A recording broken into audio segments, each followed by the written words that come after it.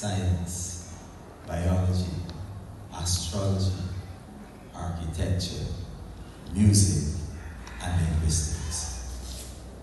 They give us all. And they built the first railboats that could do long distance sailing.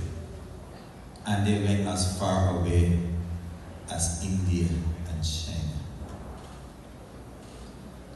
And so they, on other trips, went into West Africa and brought their music with them.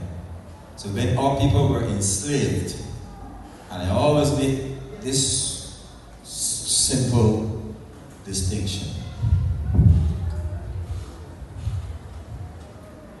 People always say when the slaves came to the Caribbean or to Barbados, what you ought to know that no slaves ever came to Barbados, not even one. What happened is that all people came and were enslaved.